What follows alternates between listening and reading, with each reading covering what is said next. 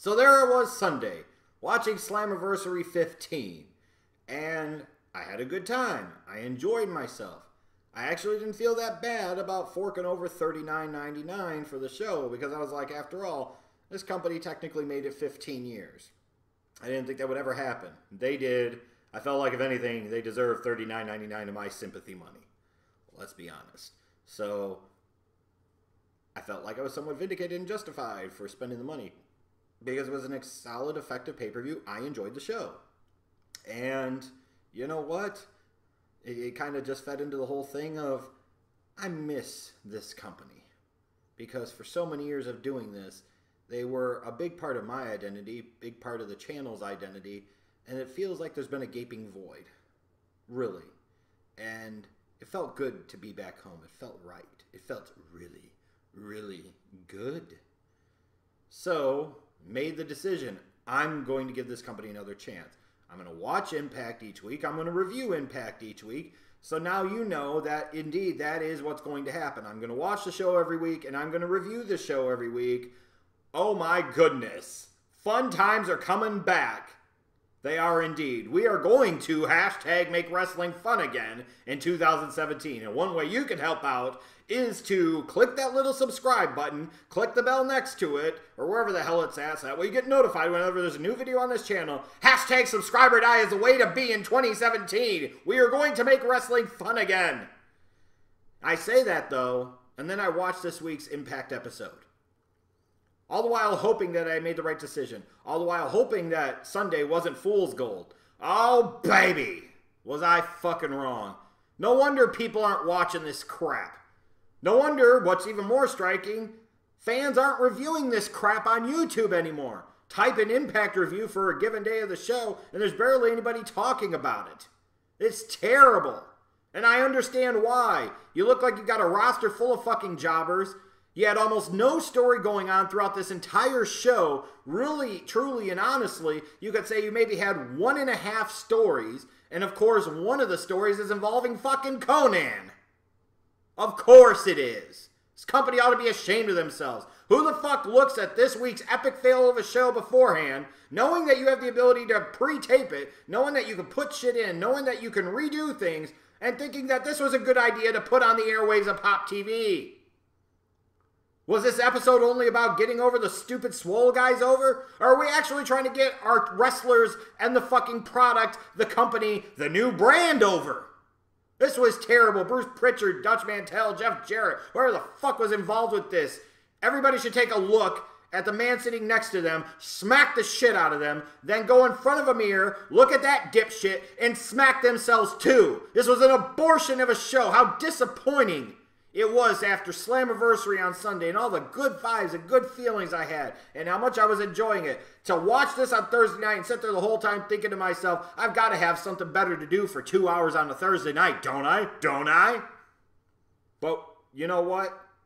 It's a starting point. I'm not giving up. And deep down, you know you're not going to give up either. For sadistic purposes, whatever. Together, we are going to band together and we're going to hashtag save Impact Wrestling. That's what we're going to do because we can't allow this to go. This was ridiculous. I want characters, I want story, I want purpose for what you do. If I wanted crappy WWE style, I would go watch crappy WWE, which is what I do. I come to a different company for something different, not a light version of it with jobbers for the most part, and much less in terms of production value. This was an epic fail of the show. Like even the opening segment, it was kind of lame. Even though it's tying right back into what happened in the main event of the Slammiversary 15 show, I don't think the segment was very good at all. Outside of the fact that Lashley was randomly trying to hit people with the champagne bottle, and he talked about he was going to build a wall around Alberto El Patron and his dad and his brother, which I thought was kind of funny. Made me wonder is he going to make Alberto pay for it? Is Bobby Lashley being investigated by the fake wrestling news media over WWE collusion? Where are you on this story, Dave Meltzer? But they're announcing that they're going to have a rematch tonight. So why the fuck would I buy the pay-per-view then if you're just literally going to wrestle each other again four nights later? This is the stupid shit this company did for years, undercutting the pay-per-views where you're actually expecting people to pay money for it. Why in the fuck would they pay money for it if you're just going to give it, turn around and give it right back to them on free television four nights later? It's bad enough now the WWE does that shit all the time, and oftentimes the rematch on Raw or SmackDown is better than the one you just saw a night or two before on the fucking pay-per-view. Why is Impact doing this shit? If you're going to have pay per views, then have pay per views. If you're going to do this shit, then why have pay per views? Just set up a fucking Patreon account and ask for fucking donations. Unbelievable. You got an X Division champion who just won a two out of three falls match against Low Ki on freaking Sunday, coming out wrestling some dude named Caleb Conley. Who the fuck is this jobber? And why the hell is he being booked to look so strong, getting all of his shit in, where we're making the X Division champion look like a fucking jobber? Why is Sanjay Dutt looking like a fucking jobber here? This felt like an enhancement match. And unfortunately, the enhancement talent was the X Division champion. Again, who structures this match as the backstage agent and thinks this is a good fucking idea? Oh boy, we're gonna follow it up with some random fucking eight man tag. You've got this dude named Grado who looks like a fat Colt Cabana minus the talent and the sense of humor. I didn't realize Crimson was back, but what the fuck is Crimson doing? American as fuck? American as suck. You call him Mackenzie now? Who who's thinking of this shit? In this match, the whole premise of it seemed like it was more designed to put over the stupid swole guys show than the fucking roster. Which, of course, is what TNA's loved to do over the years uh, whether it be with Spike TV or Destination America. And apparently now that shit's carried over to Pop TV. And then after the match, why the fuck is Joseph Park coming out to the ring with a piece of paper? And why should I fucking care about this with him and Grado? Who cares? That's exactly what it was. Matt Sydal versus Braxton Sutter. Different company, still fucking Evan Bourne. Why is this match happening and why should I give a fuck? Who is Matt Sydal and why should I give a fuck? Who is Braxton Sutter and why should I give a fuck? Now, I understand every single week you can't go and introduce everybody, but you can do things to make us actually care about these people. And this company, the retards that they were this week, did absolutely none of that. Then you get your one hour main event segment, which usually you feature one of your hottest two or three stories. You use it to announce the Super X Cup tournament. Okay, I get it. That's fine something that's going to tie into weeks of television. I'm assuming will culminate at Destination X, the live show on August 17th. But again, as I look at these dudes in the ring, outside of maybe a couple of them, I didn't give a shit about any of them. Who are they, and why should I fucking care? And how am I supposed to think they're anything other than jobbers? With that said, Drago, his fucking mask and what shit he does with his tongue, he looks badass as shit. Now, Davey Richards in there. I'm no Davey Richards fan, but at least there was somebody in there that actually knew who the fuck he was. I could actually have a reason to care about something he was involved in because he was just on the pay per view, even though we didn't follow up on anything on the pay per view involving these two. Um, but other than that, why would I give a fuck? And then you go into this. It was Idris Abraham and Desmond Xavier uh, you really want to get this thing over, you probably should go with the person that the most people are going to recognize watching your product, and that is going to be Davey Richards. Davey Richards' match probably should have been in this spot. I understand wanting to give these two guys a shine, but it, it, it's again just two guys I didn't give a fuck about. And these guys tried, but I really didn't get into the match other than Xavier's finish, which is pretty nice. But again, this was shit. The way they announced this just felt like shit. I'm looking at these guys and we're like going for this being like a big fight feel, and it felt like anything but. This felt like some crap I would see on a local indie show with maybe 150 people in attendance. This did feel like something that belonged on uh, national television. I'm just saying. Hopefully, some of the matches in this Super X Cup will be better. But this wasn't a good start to get the concept over. Um, a side note here: watching Rebel versus ah, who gives a shit about the match?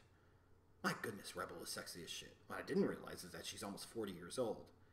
Rebel, if you want to stop wrestling, I will put babies in you. I will be proud to put babies in you. I don't care if I put the babies in your pink, your stink, your drink, it doesn't matter. You can give it to the Schleg Daddy as much as you want, and I will take it all night long. And you guys are welcome to chime in. Chime in. Do, do you? Would you rather put it in Rebel's pink, her stink, her drink? I don't care. But at least, if anything else, I looked at her and I'm like, oh my god, instead of watching these ugly bitches on Raw or SmackDown, that's a sexy woman. At least to me. At least to me. And see, before you just sit there and go, oh, he's just a cuck for the black girls and da da da. No. I find white women and other types of women sexy too. And I would give it to them all night long. And then, Rebel, please, don't tell anybody. But I want a white girl so bad. So, so bad. Can give it to me. Give me that Heidi, please. I'm just saying. I'm just saying. Anyways, on past the Rebel Love Fest until the next time we see her on television, which I will surely be goo goo gaga uh, giggly shits for. On to the World Championship match. The rematch between Lashley and El Patron. Again, imagine my frustration being one of the few people that paid $39.99 to watch the pay per view, watching a world title match happen again four days later on Impact.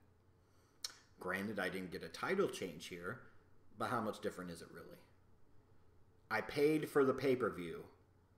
Why would you just do basically the exact same match four days later? And then, as I'm thinking that this is aggravating and knowing that Lashley's not going right back over, so again, getting into the WWE concept of why are we wasting my fucking time?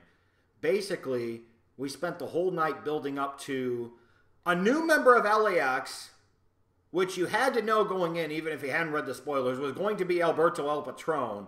We did this match, we did the whole night worth of shit for the one story, the one big payoff.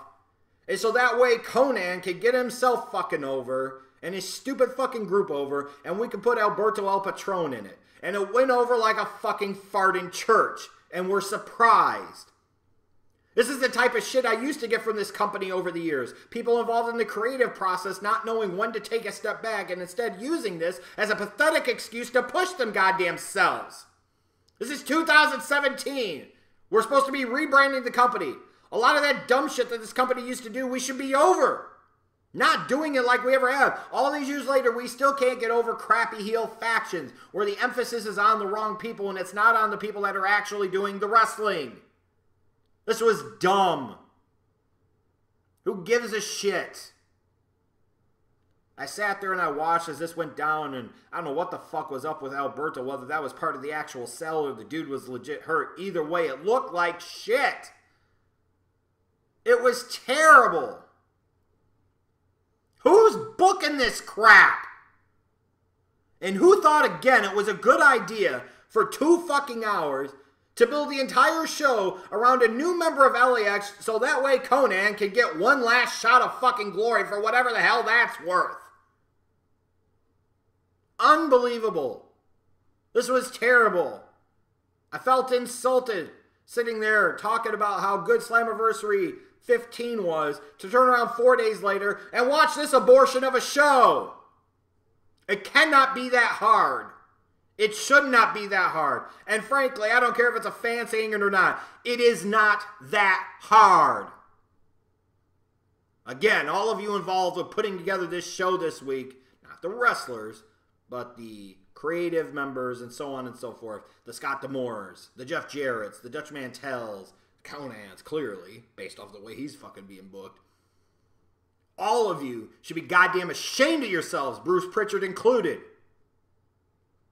How could you sit there and look at this on paper and think in any way, shape, or form this is a good fucking show? You coast through 90% of it because none of it fucking matters.